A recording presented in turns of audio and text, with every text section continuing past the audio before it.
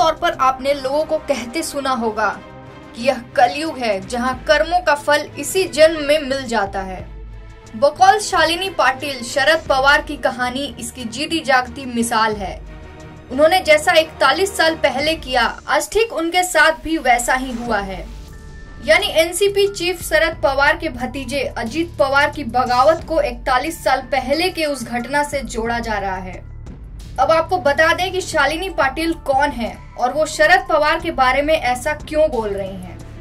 दरअसल शालिनी पाटिल दिवंगत कांग्रेस नेता वसंत दादा पाटिल की पत्नी है शरद पवार के साथ हुए घटनाक्रम के बारे में बात करते हुए उन्होंने कहा कि शरद पवार ने जिस तरह का बर्ताव वसंत राव के साथ किया था, उनके साथ वैसा बर्ताव होना ही चाहिए था, जो अजित पवार ने बीजेपी के साथ जाकर किया है जब शरद पवार ने कांग्रेस के नेता वसंत दादा पाटिल को झटका देते हुए पार्टी छोड़ दी थी।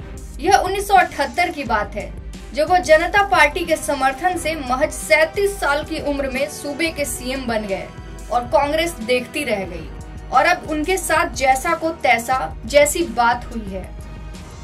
शालिनी पाटिल ने शरद पवार पर कड़ी प्रतिक्रिया देते हुए कहा कि शरद पवार ने जिस तरह का बर्ताव वसंत राव के साथ किया था उनके साथ वैसा बर्ताव होना ही चाहिए था, जो अजित पवार ने बीजेपी के साथ जाकर किया है। अब इस विधवा नारी का अभिशाप तो लगेगा ही पवार साहब। आपका नाटक उद्धव नहीं समझ रहा, लेकिन आपकी भी आंतरिक सहमति है।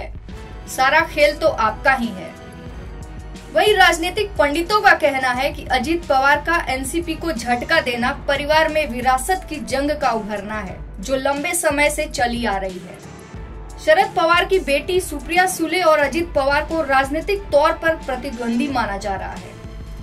बहरहाल, आपको बता दें कि अजित पवार एनसीपी के मुखिया शरद पवार के भतीजे हैं, जिन्होंने कांग्रेस से अलग होकर राष्ट्रवादी कांग्रेस पार्टी का गठन किया था, जिसके बाद अब पवार परिवार में कलह शुरू हो गई है। टीम खबर अपडेट।